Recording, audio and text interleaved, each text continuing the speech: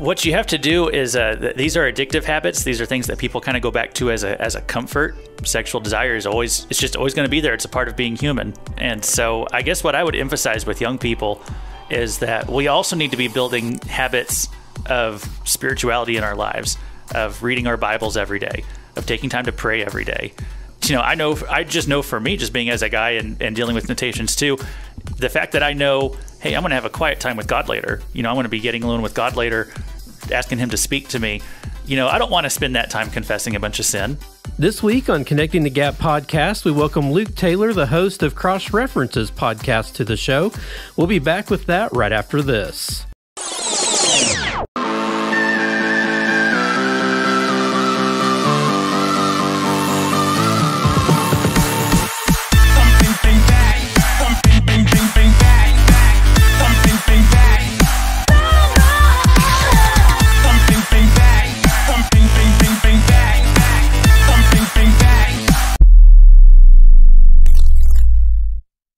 In this world, there are many disconnects that cause chaos in our lives. Connecting the Gap podcast is birthed from the desire to share hope and restoration of the power of the gospel by being transparent and open in our biblical walk with God.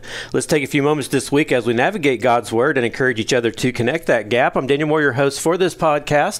Thank you guys for joining us this week. We've got a, an awesome couple of weeks lined up here that I think will be very informative for you. And I hope that you'll stick around and check out the episode this week and next week. at a special guest with me. I'll introduce him here in just a moment. First of all, don't forget to visit my website, connectingthegap.net. There you'll find all the platforms that this podcast is released on. And we do that every Thursday morning. We're on pretty much every podcasting platform out there. YouTube and Rumble as well. You can check that out at the website. Also, uh, there's other options there at the website that you can take uh, advantage of. We have a bookstore there that you can select some books from that you might have never read before, some books that have touched my life and I really enjoyed. And then, of course, there's a page there on how to get saved if you've never accepted Christ in your life. There's some directions there how to do that, or you can reach out with the contact page or email daniel at connectingthegap.net, and we'll gladly pray with you and help you through that process, get you a Bible, whatever it may be that you need to further your walk with Christ. We just want to let you know that that resource is there, and thank you once again for taking the time out of your day to enjoy today's episode. Well, we have a special episode as I just mentioned here just a few seconds ago.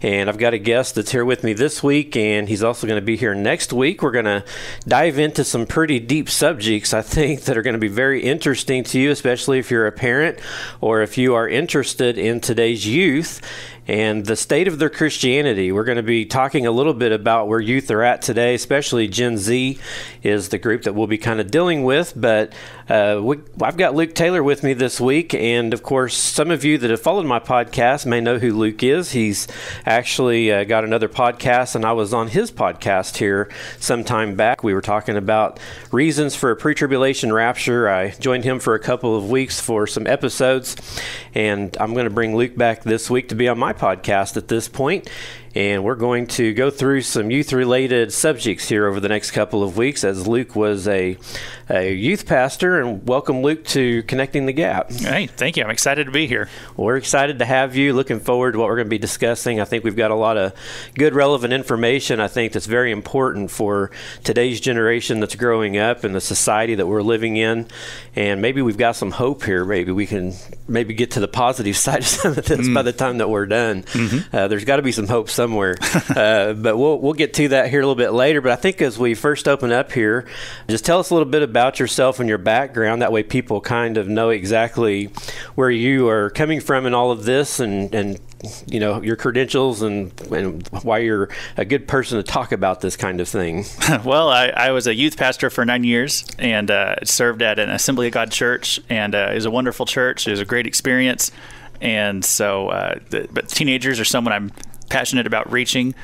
And so uh, I guess that's why I'm here. Whatever you want to talk about on that subject, I'm I'm looking forward to doing that. And like you said, I also do a, a podcast because uh, it's very similar to what your podcast is. It's a Bible study. Uh, it's called Cross References, and uh, and I just do it. I think for the same reason you do because it, it looks like the time is short and uh, and the days are dark, and so we're just trying to do whatever we can with the time we have to to reach as many people for Christ as we can. Yes, and it's you know it seems today I don't know how my listeners feel or the the ones that listen to your podcast, but I know that it's real easy as you watch the news and you watch the things that are going on, the the world looks really pretty bleak, mm-hmm. and in a lot of ways it just it gets frustrating. I know I talk to a lot of older people, and they don't really want to listen to the news anymore. Uh, they feel like it's just a, a, bunch of noise. They just get tired of hearing it all the time because it seems like so much is negative of everything that's going on. But as far as you know what's going on with our youth today and that kind of thing how important do you think it is from your standpoint for people to pay attention to this kind of stuff and be interested in what's going on in this generation that's growing up right now Hmm. Well, I mean, it's it's kind of like it said a few times in the Old Testament that you know a, a generation rose up who did not know the Lord, and that's what we have going on right now. Uh, it's not, I mean, it's not their fault in the sense that they're just kind of it, they're swimming in the waters that we've put out there for them, uh, the older generations at least, and so um, they they don't have the opportunity to know Jesus like past generations did. They don't grow up in a Christian culture. I, I think a lot of, especially um, the older you get, people aren't, who aren't paying attention don't realize just how unchristian the, the modern culture is. You know, it's not like how it was 50 years ago.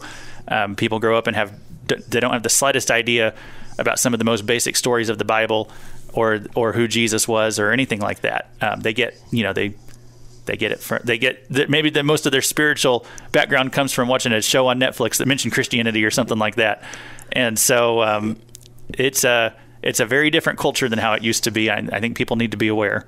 Yeah, and unfortunately, culture today, with you mentioned Netflix, we've got so many avenues out there right now as far as the media is concerned and uh, Hollywood, just the things that are being pumped out of all of those places that has a, a bent view of of the way Christianity is a lot of times and what it means to live a good moral life.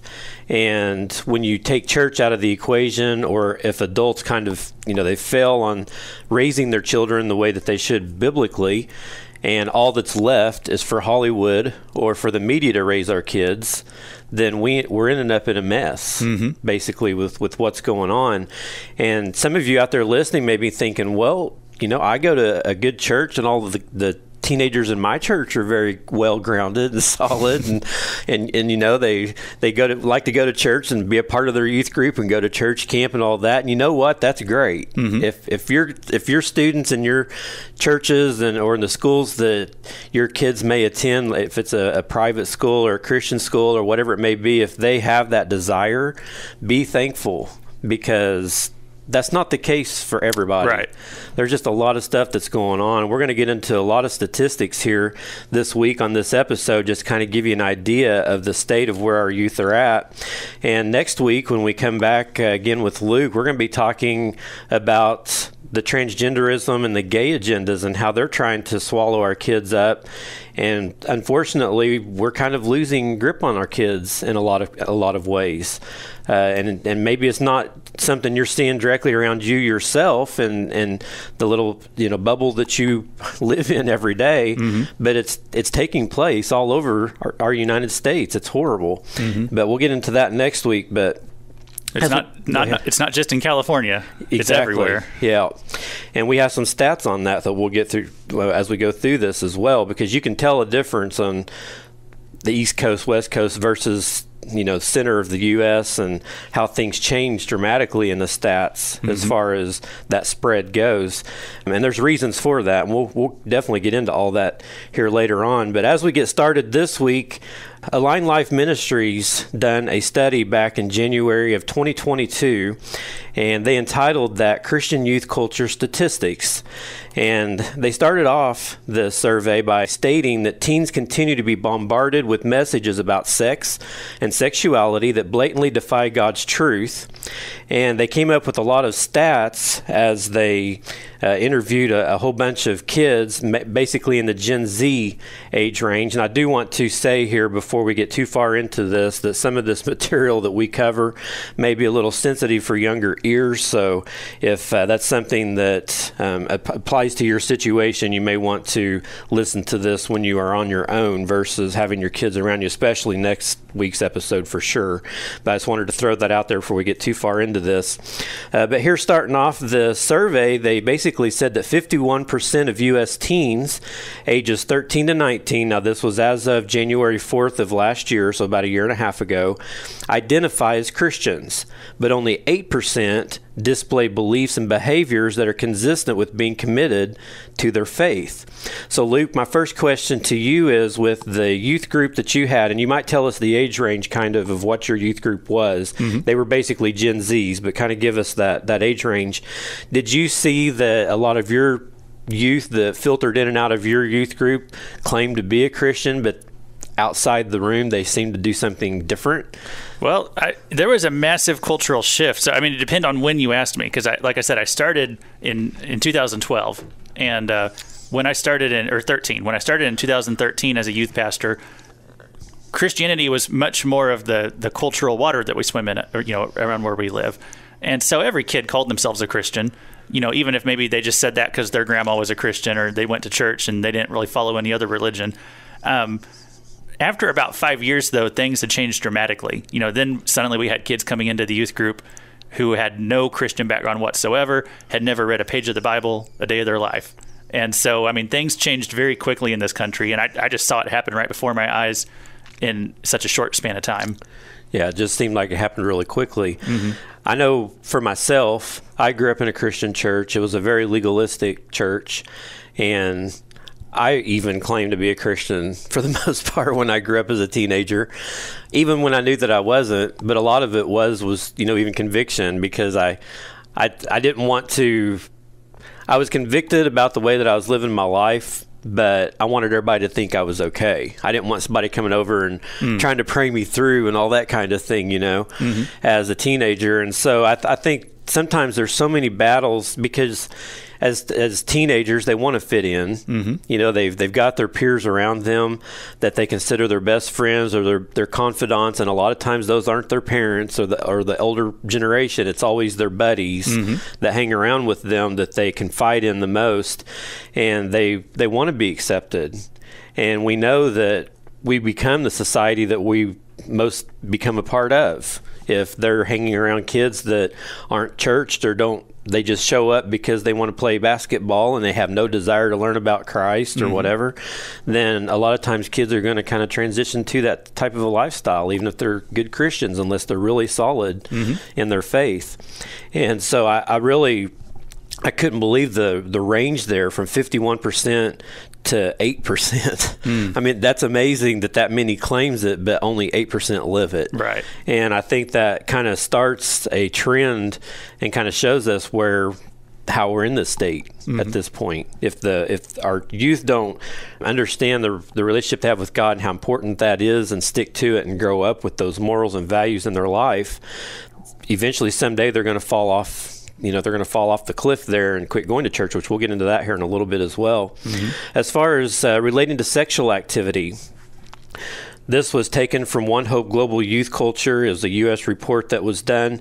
It says 56% of Christian teens in the U.S. believe that it is okay to have sex before marriage, compared to 76% of their unbelieving peers. Yet Christian teens are more sexually active than unbelievers. 36% of never married Christian teens have been sexually active compared to 31% of unbelievers. And these averages were based on data from d- three different age groups.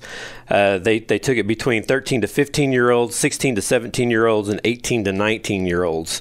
76% of non believers believe it's okay, mm-hmm. but yet the Christian teens are more active in doing it than the non Christians are. Mm-hmm. So, what's your experience with that, if, if you've had any? Well, I mean, again, it's the this is the cultural water that they that they swim in. Um, this is this is the world they grew up in, where you know every single show on TV, none of them are teaching purity or anything like that. So it really is going to come down to who they're hanging out with, where they're spending the most of their time. If they are, uh, if they're spending more time with people who are not leading them towards a godly lifestyle, then that's the that's the direction their life is going to go. You'd mentioned, I think, on the previous statistic, there were like eight percent who are actually really living a biblical lifestyle. So, therefore, probably reading their Bibles, going to church regularly, praying, having a relationship with God. that's what's going to make all the difference in this world where kids are growing up. Now, do you think that part of this has to do with uh, toughness on kids that are in church, especially if it's a legalistic type church? Because I know with myself, every little step I took, I felt like I was falling off the brim into hell because I, I was constantly on eggshells. It seemed Right. like I could never do anything right. Yeah. And, you know, when you come out of a type of a church situation like that where, you know, God's just always there to judge you Mm-hmm. rather than love you and show you mercy and grace and pick you up when you fall and Mm-hmm. the way that, you know, biblically, the way it actually is. Did you see some rebellion maybe in some of that where kids just, Christian kids are so suppressed sometimes that they just want to come out of their shell, especially if they're influenced? Oh, definitely. I mean, if you over, you mentioned the legalistic stuff, and uh, if parents go overboard on that stuff, if you go overboard on on the morality stuff, um, it's very natural for teenagers to rebel. You know, that's a that's an age where you're trying to find your own identity, and you know, from the ages of like zero to 14, 15, your identity is really wrapped up in doing what your parents do. You go to the same places your parents go, and right around you get to the mid teenage years, you're trying to you're trying to forge your own way. Then you're starting to try to think, well, I want to try doing this different, not necessarily because it's better or worse. It's just I want to be different from my parents. I want to form my own identity. And so anyway, if you if you have like this really really strict morality structure that you're raising your kids in, where it seems like they're not allowed to ever make mistakes or try something different, then you will see a lot of pushback from that when you get to those teenage years where it starts to become very natural to try to be rebellious and for, forge your own path. Well, if if you push too hard, cramming down some of the, these rules down their throat, then they'll they will try to run away from that as fast as they can as they get older too. Yeah. I grew up around some neighbors that were super nice people and I had there were my a couple had some kids that were our age, my my age and my brothers, my siblings ages as well. And occasionally, you know, when they would see the way that we grew up, they'd make fun of you. Mm-hmm. Occasionally, you know, kids are going to be kids. I mm-hmm. guess is where to start with this. Right. It's going to happen. We made fun of other people as Christian kids. I mean, it, it just happens. Mm-hmm. But when it comes to being made fun of, you know, for the way you you believe, especially if you feel as a child it's being forced on you, mm-hmm. because as obviously as children or teenagers, uh, most generally we have no choice where we're going to go to church. We're going to go where our parents go, Right. And that's the way that our parents are going to try to raise us up. That's just the way that the families operate. Mm-hmm. But whenever you have all this really legalistic stuff taking place that really has no biblical back, backing to it to begin with, but you're being forced into that type of a lifestyle, and then you've got uh, peers from the outside sometimes being mean and making fun of you and that kind of thing. It really is a lot for teenagers to have to navigate through. Oh yeah.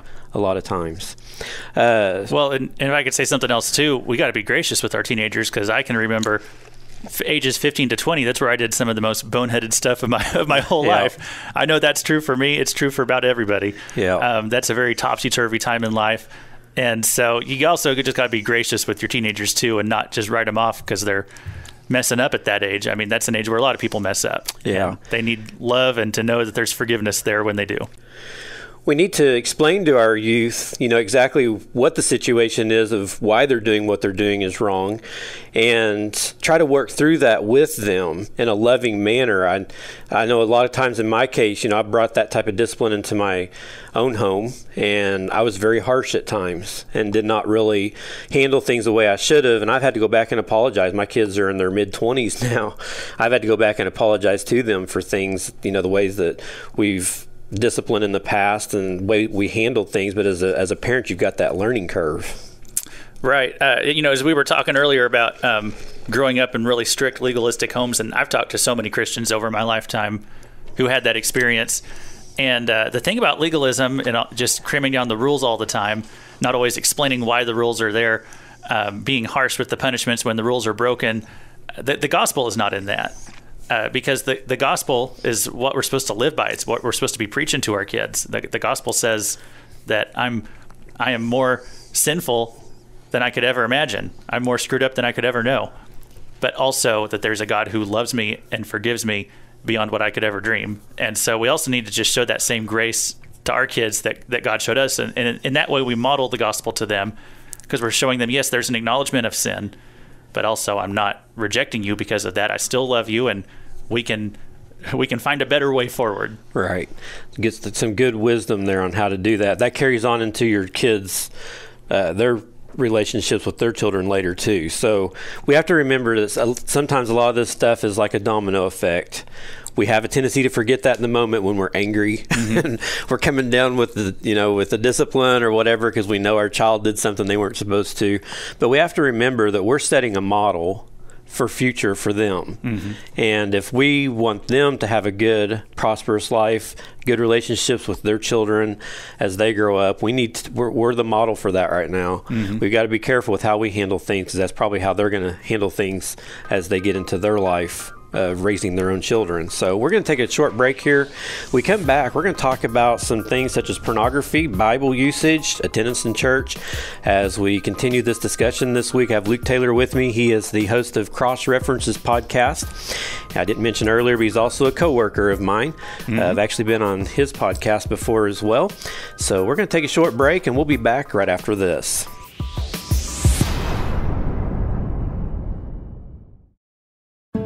It's hard to think of a more devastating feeling than losing what you put all your hopes in. Maybe you've lost your health, your job, or a special person in your life. That thing is gone, and we realize everything was riding on that one thing. We eventually realize that we need something else to put our hope in. Something that can't be touched by death, disease, divorce, or disaster. Something that will never desert us. The only thing in life that you can never lose is a true personal relationship with God Himself. A relationship where God is first, not a relationship where we earn points based on behavior or appearance. A relationship where we admit our sins and seek to put God ahead of all else. Jesus died on the cross to pay for all our sins. That is how much He loves you. To learn more about how to put your complete trust in Jesus, you can call or text us at 888 Need Him.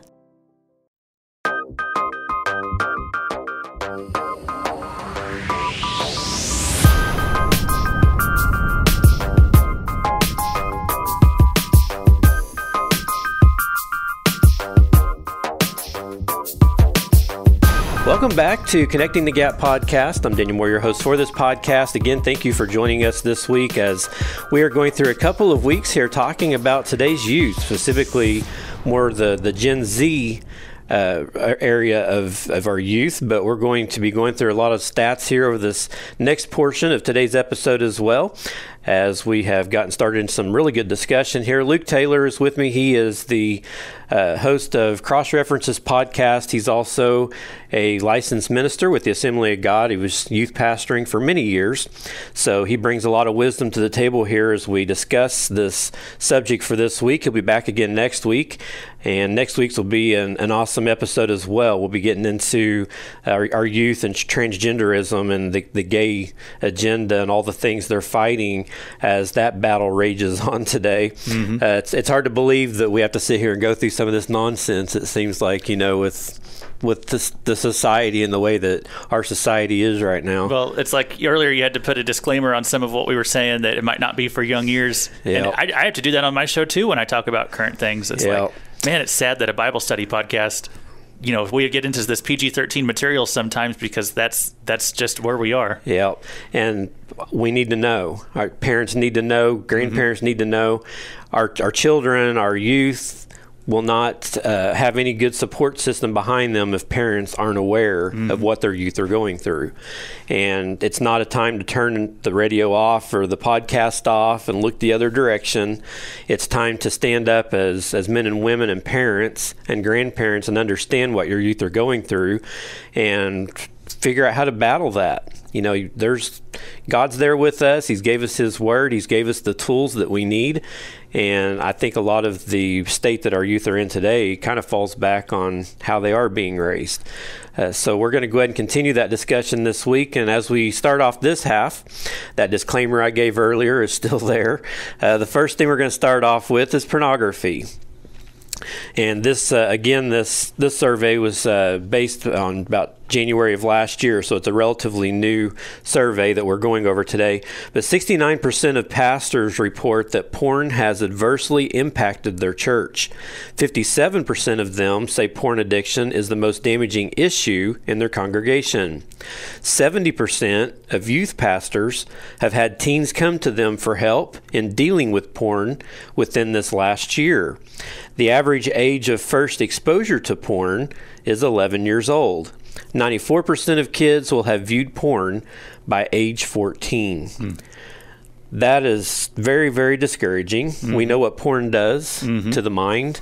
I myself was addicted to porn at one point in my life, and I have to admit that these stats are very accurate. I think the very first time I remember seeing any type of porn in my life, I was about 10 or 11 years old mm. when I was introduced to that.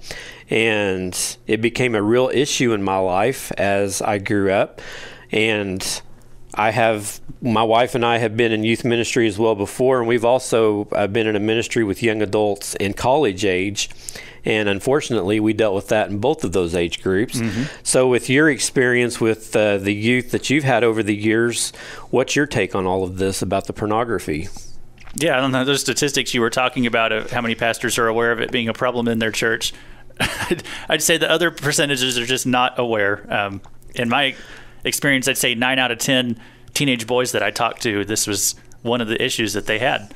Um, and I mean, who could blame them? You, we have all these cell phones nowadays that are connected to the internet um, that kids are carrying around with their pockets in their pockets 24 seven. That kind of accessibility, of course, it's going to happen. Uh, as we were talking about, the teenage years are just a very topsy turvy t- time.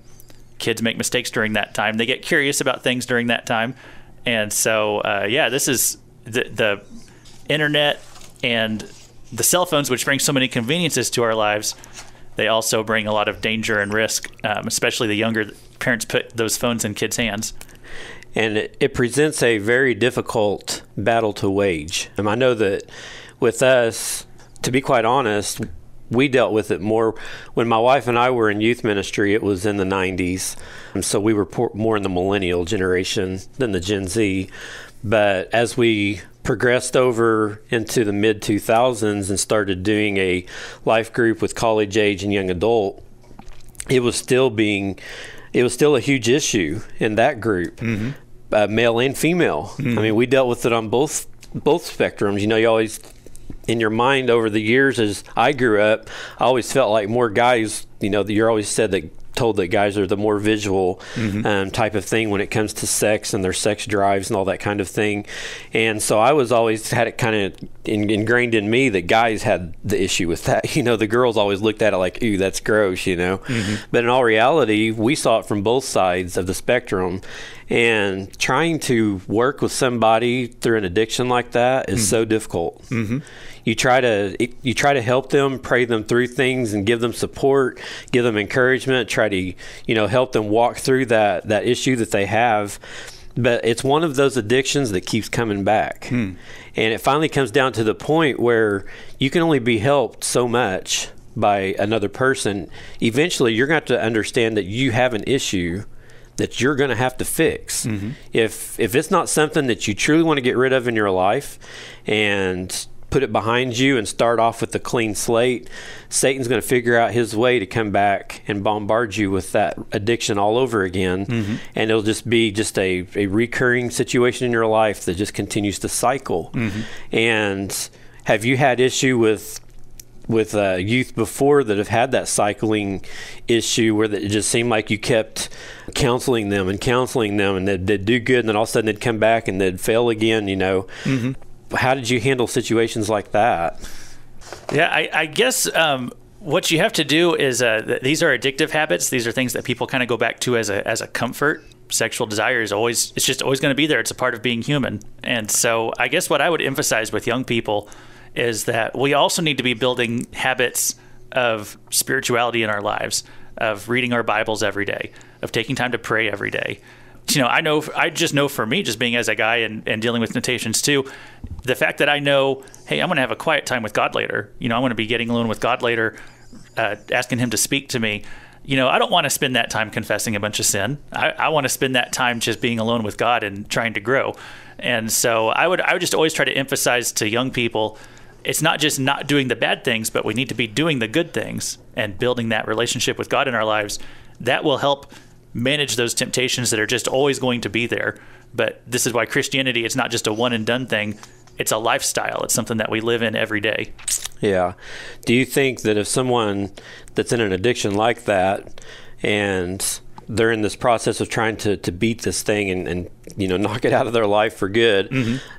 when they start having those inclinations, they're by themselves. There's nobody around. It's late at night. You know, we've mm-hmm. always got these cliches and when all this stuff. You know, Satan likes to get a hold of us when there's nobody around, and mm-hmm. he can mm-hmm. just sit there and work on our minds. You know. Yep. Do you think that trying to replace that with instead of looking at the porn, you know, pulling up a, a, sermon on YouTube or getting out the Bible and start, you know, digging into some Bible study.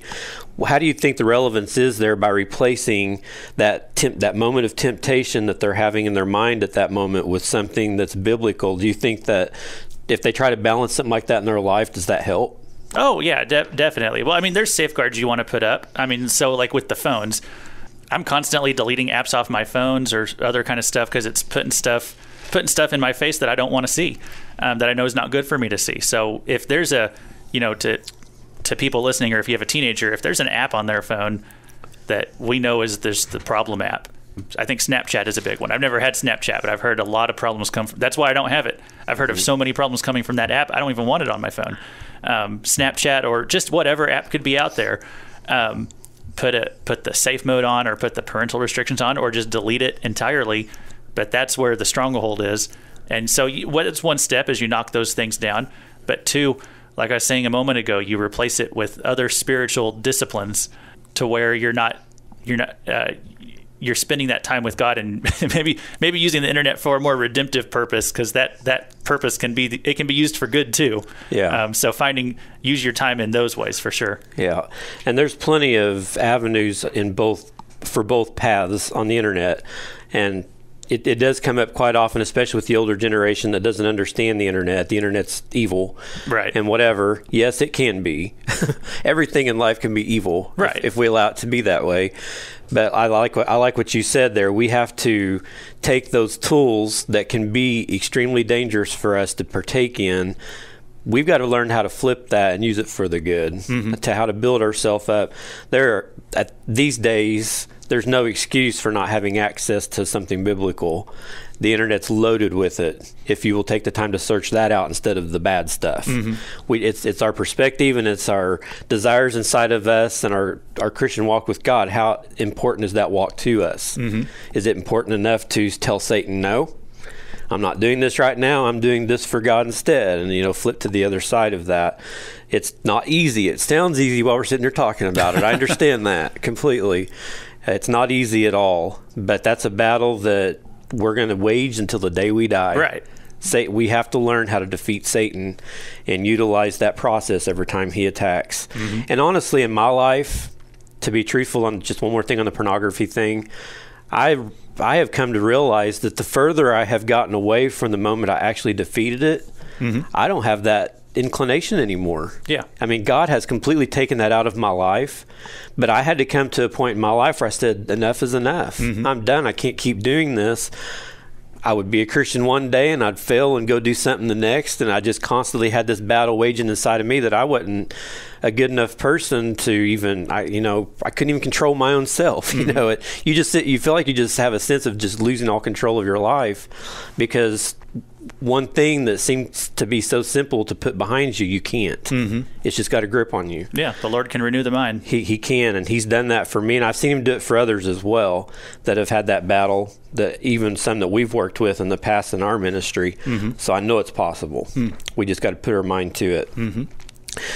Okay, as we continue on here, there's a study that was done of more than 10,000 young people aged 13 to 25. It found that 68% of Protestant respondents, 56% of Roman Catholics, and 52% of just Christians said they were a member of a spiritual or religious community.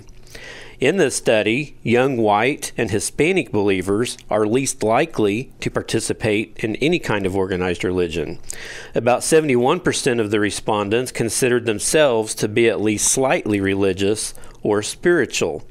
The study also found that many young people prefer to confide in their family and friends rather than religious institutions during times of uncertainty and difficulty.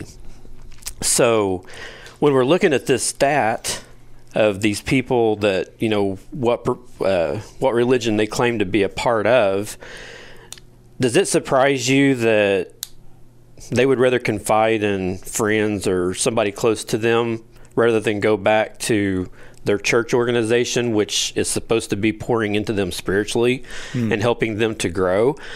Why do you think that they would prefer to go the opposite direction rather than getting good biblical, you know, solutions and help from their own church community? Yeah, I, I, I guess I, the way I look at that, um, they're just going to go where they feel the safest, where they feel like they can maybe share without being judged, and um, that's that's just why it's so important that you have godly friends because I think it is very natural, especially for young people, that they they want to go talk to their friends, you know, their friend group who they're hanging around with a lot of the time. They want to go talk to them about what what's going on in their life, and so that's that's why I think it's so important that we teach young people the importance of finding those Christian friends in your school or having those Christian relationships, because then that's that's who you're going to be like is the people you spend the most time with.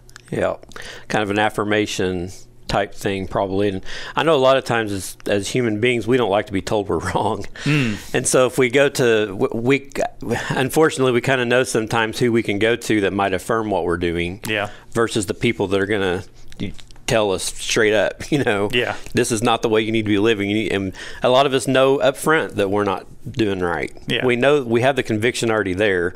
So I agree with you on that one. I think a lot of a lot of times if we're not very strong in our Christian belief and our walk with Christ, we will have a tendency to go the direction where somebody's going to be okay with with what we're doing mm-hmm. and kind of reaffirm that whether if it's right or wrong.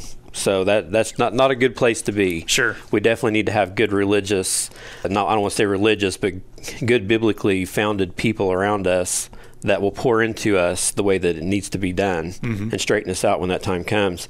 Now, as far as the Bible's concerned, study of nearly 100 Gen Z youth ages 15 to 17 and more than 3,300 Gen Z adults ages 18 to 24 found that only 9% of the younger group could be designated as scripture engaged centered on reading the Bible. That's compared to 14% of Gen Z adults and 23% of millennials. 47% of Gen Z youth are designated as Bible disengaged. That's five times as many as those who are Bible engaged. Even fewer Gen Z American youth read their Bibles in 2020 in the midst of the racial injustice protest and the pandemic.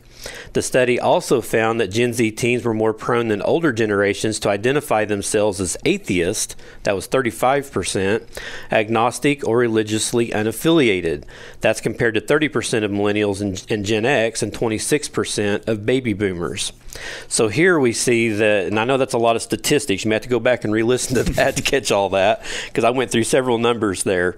But basically, what that is telling us is the Bible doesn't seem to be as an important item for people these days is what it needs to be. Right. Do you have you seen in your experience in working with youth that they don't have a tendency to want to really pay attention much attention to the Bible or how well uh, yeah it's uh, it's kind of as I was saying before that um, they're not growing up in a culture that's like a a cultural Christianity like you know perhaps it was in uh, past generations. There's not there there's not even that natural inclination to respect the office of a pastor and young people.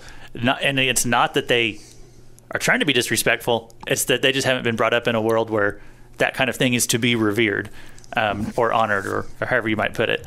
Um, and so, yeah, when it comes to the Bible, there's, you know, if they, don't even have a, a basic understanding of some of the most just what we would call common Bible stories. You know, they don't even have the most simple understanding of that stuff. There's no they, they don't they don't even know what Noah's Ark and all that was all about. You'd think everybody would know that, but but modern kids really don't because they haven't they haven't been brought up that way. Yeah. Do you think having Bible apps? I, I love my Bible app and I I use it quite often, but because And one reason that I have kind of switched to using my Bible app like at church or whatever mm-hmm. is because when I serve at church, we have two church services where I attend, and some of the places that I serve, I don't really have somewhere to store a Bible or something if I take it with me. Mm-hmm. So I have more of a tendency to use my Bible app or our church app. I'll take notes on the, the notes section of our app. But do you think that having a Bible app and you know, pushing kids to use that versus carrying a physical Bible in their hands, mm-hmm. do you think that has a tendency to kind of make them not utilize the Bible as much or forget mm-hmm. about it? Yeah. Because they don't literally you know pay attention where this bible is all the time make sure they've got it physically with them mm-hmm. versus mm-hmm. doing an app what what how do you feel about that you know that's i, I would say most of the teenagers i was um, pastoring or preaching to, a lot of them use the, the apps on their phone. I mean, they just it'd be time to read a verse, and if I didn't have it on the PowerPoint, they'd pull out their phone and follow along there. That's how that's how a lot of them commonly do it. It's an interesting paradox in society that as the Bible has just become more and more widely available in so many different ways, whether it's reading it on the internet, on an app, you know, it, there's never been more Bibles in the world than now, and yet the spiritual engagement with it has plummeted over the years. And so it's a strange paradox. But I I guess uh, I prefer a physical Bible myself. I just say whatever it takes to get someone into the Bible, you know, that's what they should go for. If they use the phone app, use the phone app. Yeah. You know. I like my per- I like my physical Bible. I've got several of them. I like to make notes, mm-hmm. so it's hard hard to make notes on the Bible app to an extent. Sure. You can, but it's just not quite the same. I do find that if I do make notes on my Bible app or whatever, I have a tendency not to go back to them mm-hmm. as much as if when I open my Bible, I see my notes, you know? Yeah. So I, th- I, think there's positives for, for both sides of that. And I, I, guess it may, it may come back to one of those things when you, when you have something so readily available, mm-hmm. it kind of, comes, it kind of brings you to the point where it's not as, it's something that you take for granted. Mm-hmm. I guess is the best way to put mm. that. mm Well, the, that's Possibly. what every kid who came into our youth group. I one of the first things I tried to ask them as I was getting to know them, do you have a Bible at your house? Because if they didn't, I would give them one because I just felt like that is so important. And every, about every kid already says they have one. But even before I found out if they were Christian, even if they weren't Christian, I just wanted to make sure they had a Bible. And one thing we did a lot as a youth group is we we did Bible drives I don't know. I don't. You rarely hear of any church doing Bible drives anymore these yeah. days. I didn't even do it so much for the people because everyone, almost everybody, already has a Bible. But I was just trying to instill that value in the kids that they see the importance of it, so that you know when they're going door to door asking people if they have a Bible. Again, ninety percent of people say yes, but then the kids are just always being reminded at every door this is actually something valuable to have in your home and maybe that and maybe even for the people we visit that inspires them to you know go to that shelf dust off that bible they haven't picked up in a in a few years and start reading it. You know, they think, oh, this book is important enough. Somebody knocked on my door today just to make sure I had one. You know, it inspires people to see the value in it. Yeah, that's good. When it comes to church membership, some stats here fewer than one in three young adults, and this study here was based on 2,200 Gen Z uh, persons. It says that roughly one in five young adults report that they were not raised in any particular religion, compared to only 3% of seniors. Fewer than one in three young adults say they attended religious services with their family at least weekly when they were growing up. About one third of adults, or 32%, say they never attended religious services during their formative years. You had a kind of a span there of time that you did youth ministry. Mm-hmm. How was the attendance in that time frame that you did that, do you feel like that it came to a peak at some point and then dropped back off? Do you feel like it was still building when you finally got out of youth ministry, or what was the trend there? It stayed pretty much consistent the whole way through, but the the the kids themselves changed radically just in their temperaments, and there was there was such a difference from when I started youth ministry. Even five years later, there was a big difference. So when I did it for nine or ten years, in that span of time, the kids after 10 years were completely different from the kids whenever I started. So, but by the time I ended, I would say being a youth pastor nowadays is more like being a missionary. Because if you think about what we do with missionaries, we you know we go and drop them into another country where the culture, most of the time, the culture is entirely different from America. They might have never heard of the Bible. You're having to start from scratch and uh, and you know you so you send a missionary over they got to build those relationships with the people there start introducing the concepts of christianity to them but i mean it's a blank slate and that's really what it is with these youngest kids nowadays it's a blank slate They don't have the slightest idea of anything. So it's like going into a foreign culture, even though it's our own culture here in America. It's like being a missionary. Another thing that I saw change was even within the church. When I started youth ministry, we had kind of a cultural Christian, like we had a subculture within the church that everyone kind of knew. We had these shared cultural artifacts, like Veggie Tales. You know, if you grew up in the 90s, the early 2000s, every kid knows Veggie Tales. They can sing the songs. We had that like subculture even within the church of people who knew that kind of thing. That wasn't there by the time I left the the youth ministry last year. You know, kids didn't. There wasn't like that that shared ecosystem even within Christianity, like what we had whenever I was growing up as a kid, and that was kind of sad. Yeah. You know, I, I liked having that that just that those shared things that we all kind of knew. We'd make fun of the cheesy Christian movies, you know, we all that kind of stuff that we Christians would do. Uh, have singing a lot of the same worship songs. By the time I left ministry, I mean, none of these kids had ever seen Christian movies. They didn't know any worship songs. So, I mean, we even just lost that even within the church. Yeah. So that that gradual gra- gravitation away from spiritual, the church life was kind of already starting to happen. Mm-hmm. It says here three in ten or 30% of young adults raised in a religious tradition growing up say they no longer affiliate with one as an adult.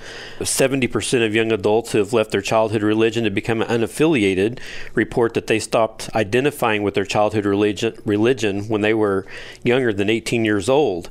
Among seniors who have disaffiliated, 49% left religion during adolescence, while 51% left after they turned 18. So, did you ever see a trend of maybe when your youth would be old enough to not be in youth anymore? Mm-hmm. Did did you continue to see them at church, or did some of them seem to fall out and not come back? Yeah, no, I'm. I mean, I'm really sad to report the majority of kids get into the college age, they age out, and a lot of them fall away.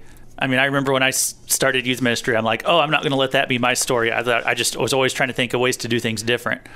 I'm like, okay, well, it hasn't been going in the right direction for years, so I'm going to do things different and try my own way. And you know, just the same result. Here's what here's what it always comes down to is the what environment they're going into.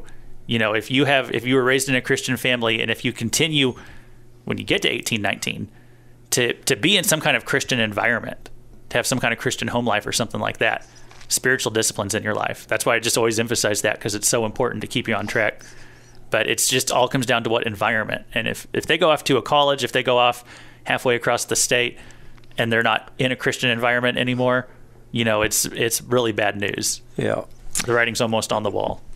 That's just that's such horrifying statistics, really. Mm-hmm. But honestly, I can see even from my side of it, I can think of quite a few people that I knew growing up that have nothing to do with church.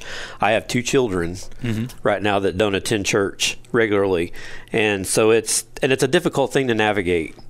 When they get to a certain age, they become adults. They start making their own choices, their own decisions. You can hammer them over the head all you want to, but you're just going to create an enemy mm. if if you keep going that route. Mm-hmm. And they kind of it comes back then to like my wife and I, we just try to set the best example in our home that we can of, of being a Christian. We go to church regularly, our kids see that. We just hope that eventually they will understand the importance of them doing that, even for their children. Mm-hmm.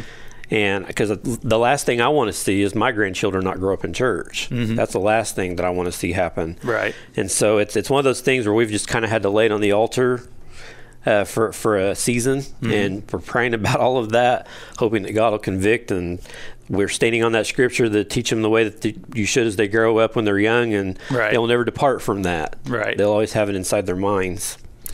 Uh, some some youth actually end up becoming atheistic in their views, and I I actually know a girl that I went I went to a private school and there was a girl that I went to school with. She was in my grade. She's a full blown atheist at this point. Mm-hmm. And one thing that I have noticed, it seems that most people that kind of trend over to the atheistic viewpoints, a lot of them went on to college to be in science majors or biology, or it seems like they always have something with science, astrology, that type right. of thing that they would get into that would totally pervert the way they think about things. But I found some interesting t- statistics here about kids that grew up in church but then became atheistic. Uh, there's several points. Number one, they had attended church at one time. Secondly, the mission and message of their churches was vague.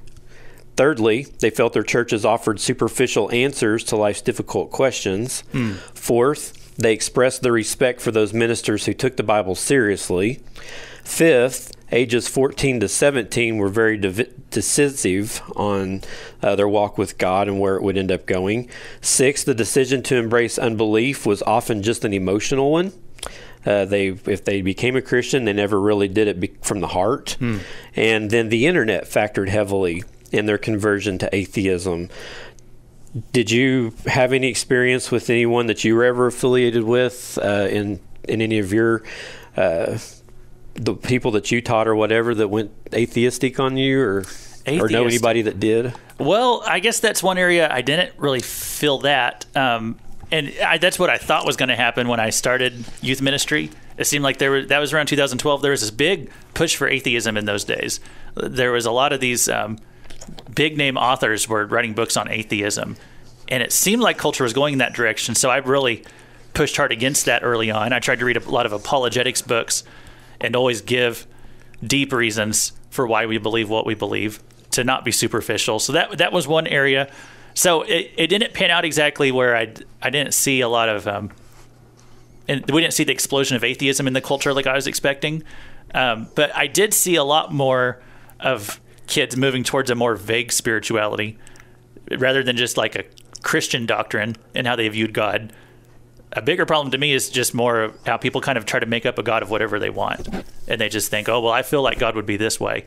So this is what I think God is. It's not that they reject a belief in God, but it's more like they invent their own God. Yeah. But that they're most comfortable with. That that seems a more common issue for me. Yeah. Uh, well, we're sitting in with Luke Taylor this week. He is uh, a previous youth pastor, did that for several years. He's a ordained minister, and he's been discussing this week about the state of our youth. And we're about to wrap this up here. But I got one one more thing here I want to kind of throw at you, Luke, here before we finish up for today. Uh, we're going to kind of kind of go into the uh, wrapping this up here with current beliefs and, and the culture that the, that the Gen Z group is going through today. And they did a part of this the survey that they did, this research that they did. They were trying to investigate the perceptions, experiences, and the motivations of the Gen Z group. And some of the things that they came up with here from this group some of 29% of them said, I have a hard time believing that a good God would allow so much evil or hmm. suffering in the world. 23% said that Christians are hypocrites. 38% said the church is overprotective of teenagers. 36% said the people at church are hypocritical. Uh, 27% said the church is not a safe place to express doubts. 24% said the faith and teaching that they encountered at church seemed rather shallow. 17% said the church seems too much like an exclusive club. 59% said the church is not relevant to me. 48% said they found God elsewhere. 28% said I can teach myself what I need to know. 20% said that they thought church was out of date. 15% said I don't like the people who are in the church.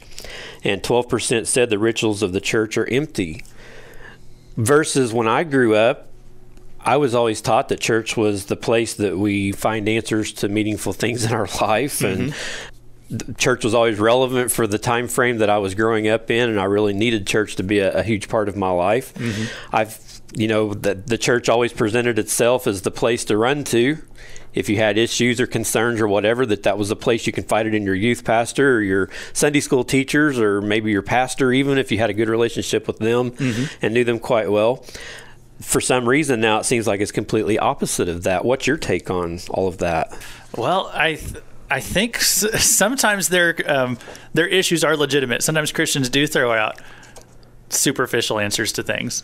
That and that is a that's a real problem. I think sometimes maybe Christians are not well trained on how to answer some of these big questions in life, like you know why do bad things happen.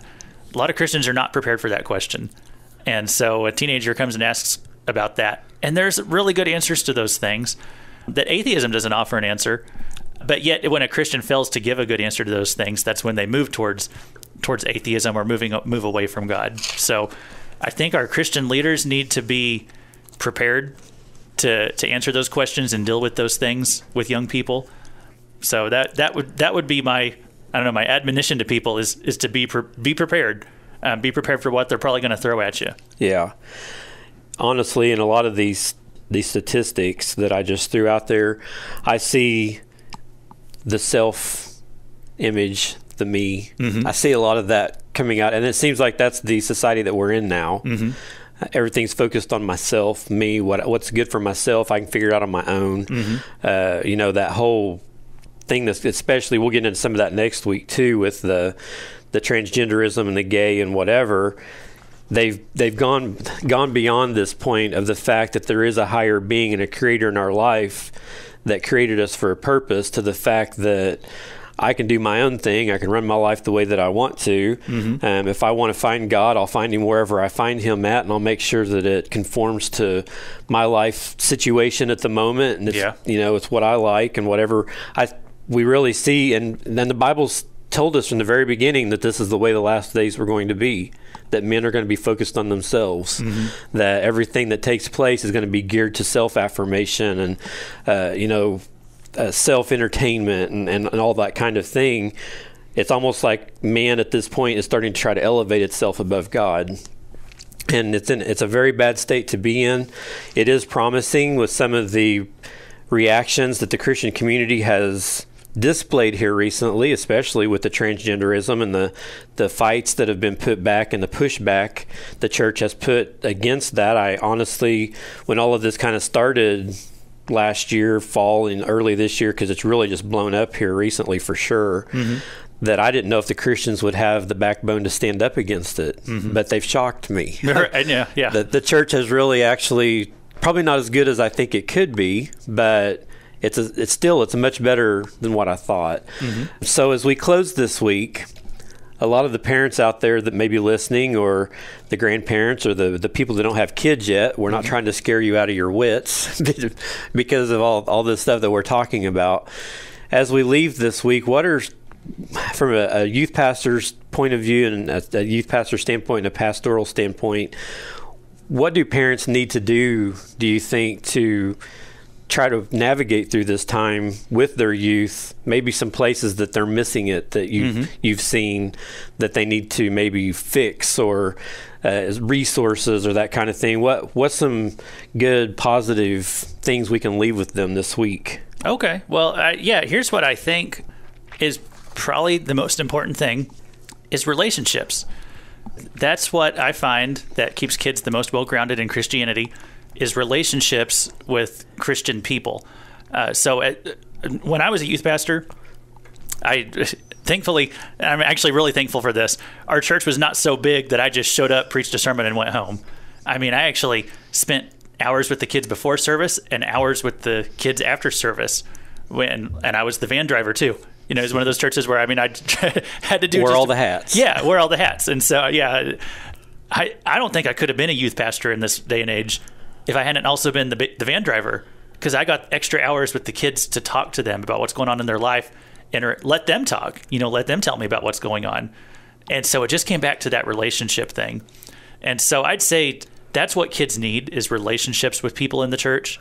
Uh, we we were talking earlier about kids often go off and they they want to talk to their friends. They want they're more interested in tell, telling their friends about what's going on than mom and dad. Well, that's a very common thing with teenagers. You know, of course they're going to go see their friends, but there's probably an adult at your church that your kids could go and talk to that they could build a relationship with. Maybe it's not always going to be mom and dad, and I know that's that can kind of hurt, but you know, there's probably an adult in there at your church that they could confide in. They need to be in church and build that relationship with them, and and that's what it's going to come back to. That's what that's what I find for me. It's the kids that I built a relationship with that I still have that relationship to this day, even if they were in the left the youth group years ago. But that's that's what it comes back to, and I think that's what kind of keeps them also connected with God. And, and maybe just to end on one note of hope too, because we were talking at the beginning, is there any hope out there? But a lot of kids do kind of fall away from God in the in the college years. It's a very natural thing that happens. But also when you look at the statistics, we see a lot of those kids coming back to God after five or six years, you know, maybe 10 years, late 20s, early 30s. A lot of them start to, okay, now I see the value of my Christian upbringing. Now I see what the value that brought to my life. And so I, the statistics also show that after some time, if kids are trained up in the way they should go, they do start moving back towards God as they get a little bit more life experience. Yeah. Yeah. We just got to remember, I think, not to leave them behind. Mm-hmm. Don't write them off. Keep that relationship Keep- open. Yes, keep that relationship open. They're in a time in their life where they're trying to figure things out. This a lot of things in their teenage years are new to them. That's you know they start evolving into an adult, and you know puberty takes place. There's just a lot of physical changes that they have to deal with, mm-hmm. and they've got their friends around them that they're having to deal with, and the peer pressures, the phone apps. We've mm-hmm. discussed a little bit about that. You know, I, I'm lucky that my kids, whenever they were younger, the phone app thing wasn't as big of a thing mm-hmm. back then because it was kind of evolving. So I fortunately didn't have to deal with a whole lot of that.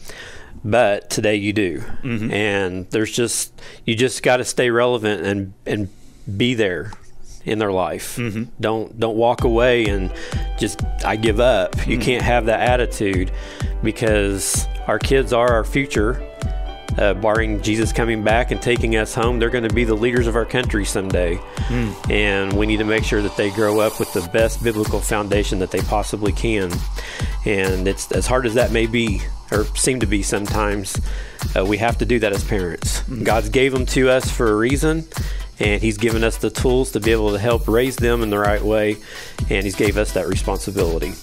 So, Luke, thank you for joining me this week. This went a little bit longer than I expected, but I, I had a feeling it probably there's just a lot here, Uh-huh. and this just touches the tip of the iceberg. There's so much more involved with all of this, but I think that we've delivered a lot of good, relevant information this week. Uh, thank you for sitting in with me this week. I appreciate it. And thanks for letting me be here. You bet. We'll be we'll be back next week with another episode as well.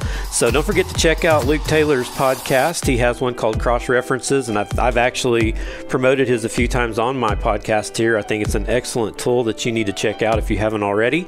It's a Bible study, and here lately he's actually been doing a series on transgenderism. Yep. And it's been phenomenal. He's kind of right in the middle of that. Uh, of course, by the time this plays, it'll probably be about over. But go back and check that out. Uh, we'll have a, a episode next week on transgenderism and, and the gay lifestyle as well, as far as youth are concerned, coming up next week. But he's been doing an excellent job on that. So go check out his podcast, Cross References Podcast. You can pick that up uh, pretty much any of the places that mine is available here at Connecting the Gap. Well, we're going to wrap it up this week. Thank you guys for joining me. You can visit my website, connectingthegap.net, for anything uh, ministry related to Connecting the Gap podcast. We're going to be gone out of here till next week. We'll be back with a brand new episode. Until then, don't forget that God's Word never fails us. God's Word has stood the test of time, and through Jesus' death on the cross, He has connected the gap. You've been listening to Connecting the Gap podcast. I'm Daniel Moore, the host for this podcast, and I personally thank you for listening each week. In this world, there are many disconnects that cause chaos in our lives. This podcast is birthed from the desire to share hope and restoration of the power of the gospel by being transparent and open in our biblical walk with God. Each week, we take a few moments as we navigate God's Word and peer into other people's testimonies and encourage each other to connect the gap. We upload a new audio podcast every Thursday and a video version of it on YouTube and Rumble. We are also on the Christian podcasting app Edify. You can subscribe to our podcast on many of the available podcasting platforms such as Apple Podcast, Deezer, Spotify, Google Podcast, Amazon Music, iHeartRadio, TuneIn Radio, and many more. We are also available on your Alexa enabled devices. If you would like to give us feedback or would like to contact our ministry for any reason, including prayer, visit our contact page at www.connectingthegap.net and send us a message. We hope you are blessed by this ministry. This is a production of Connecting the Gap Ministries.